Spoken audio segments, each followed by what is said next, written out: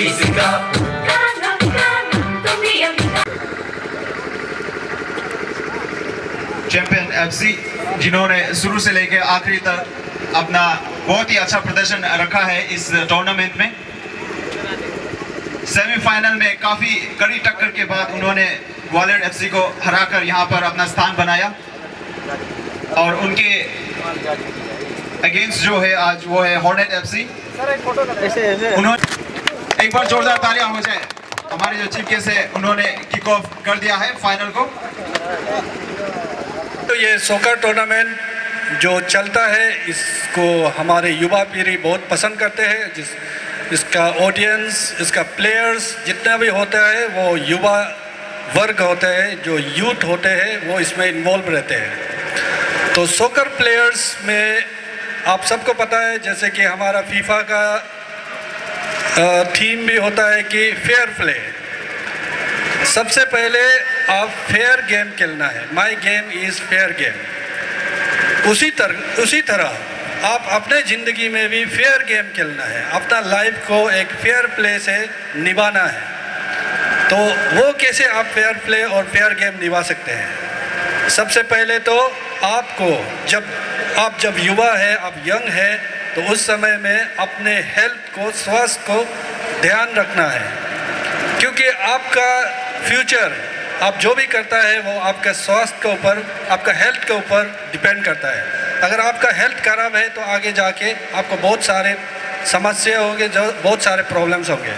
लेकिन आपका हेल्थ जब अच्छा रहेगा, आप हेल्दी रहेगा, तब आप फिजिकली भी फिट रहेगा, आप स्पोर्ट्स में भी पार्टिसिपेट कर सकेगा और साथ में आपका ब्रेन आपका दिमाग भी स्वस्थ हेल्दी होगा। आपका सोच भी हेल्दी होगा। तो उससे उसमें सबसे पहले आ, मैं कहना चाहूँगा कि आपका हेल्थ को अच्छा रखने के लिए आपको प्रिवेंशन बहुत ज़रूरी होता है। आ, हमारे यहाँ में हमारे हेल्थ डिपार्टमेंट में जब लोग जब हम लोग अवेयरनेस करते हैं तो हम बहुत ही इम्पोर्टेंट एक इम्पोर्टेंट खास करके सोसाइटी में यूथ के लिए, देश के लिए। यूथ के लिए मैं क्यों कहता हूँ? क्योंकि स्पोर्ट्स में अगर आप रहेगा, आप फिजिकली फिट रहेगा। और देश के लिए इसलिए बोलता हूँ कि आज सारा देश, विदेश, सारा संसार मालूम है युवा शक्ति क्या है। तो अगर हमारा युवा स्वयं अगर हेल्दी रहेगा, सक्षम रहेगा तो कुछ भी कार्य हम कर पाएगा। आज फौज, फौजी में भी देखिए, सब युवा को सिलेक्ट करते हैं। क्योंकि अगर कल हमारे इंटरनेशनल बॉर्डर पे अगर सात साल का अगर जवान को भेजेगा तो वो तो ऐसे ही मर जाएगा। हमारा सीमा को कोई भी पार करके आ जाएगा। इसलिए जितना भी सीमा में तैनात है, सब जवान जवान युवा सैनिकों को वहाँ पे तैनात किया गया है। तो इसलिए युवा में बहुत शक्ति है। आज ये स्लोगन को हमारा माननीय प्रधानमंत्री नरेंद्र मोदी जी सारा देश को समझाया पिछले पाँच सालों में और आज ये सारा देश विदेश में गूंज रहा है।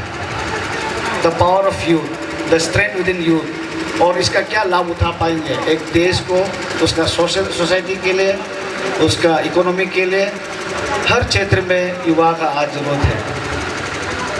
तो इसलिए खास करके मैं अरुणाचल प्रदेश का युवा को ये बताना चाहूँगा।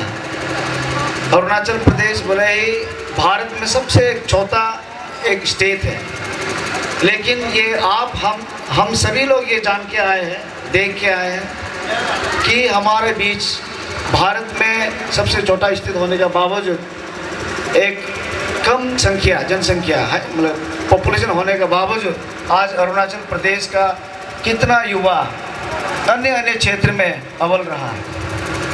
आप न्यूज़पेपर में देखते होंगे, आए दिन अरुणाचल प्रदेश का युवा कराटी में गोल्ड मेडल लेके आया सिल्वर मेडल लेके आया ब्रॉन्ज लेके आया नेशनल लेवल में इंटरनेशनल लेवल में।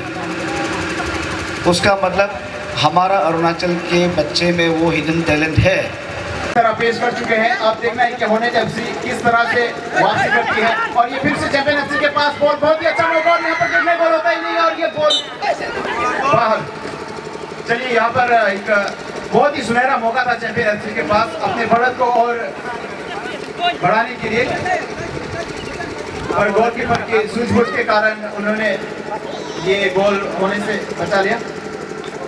देखना है कि जर्सी नंबर अठारह किस तरह से और हॉर्नेट एफसी ने बॉल को उनसे ले लिया पर यहाँ पर चैंपियन एफसी के डिफेंडर बहुत ही अच्छा वहाँ पर बॉल को ड्रिबल करके लेके आए और जर्सी नंबर आठ चैंपियन एफसी के जिन्होंने बॉल को क्लियर करने की कोशिश की, पर यहाँ पर गोलकीपर ने मिस किया और हॉर्नेट एफसी को उसका पहला कॉर्नर यहाँ पर मिलता हुआ।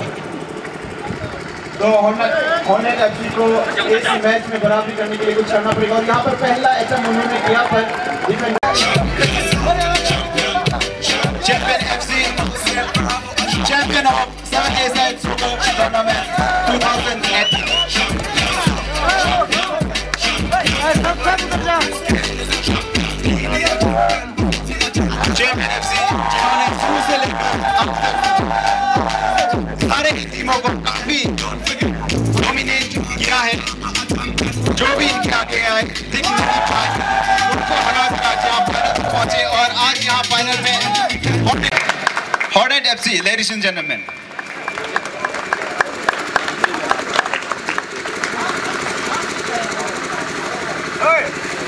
आता ये ये ना वही वही Hornet FC runner up 7 A side soccer tournament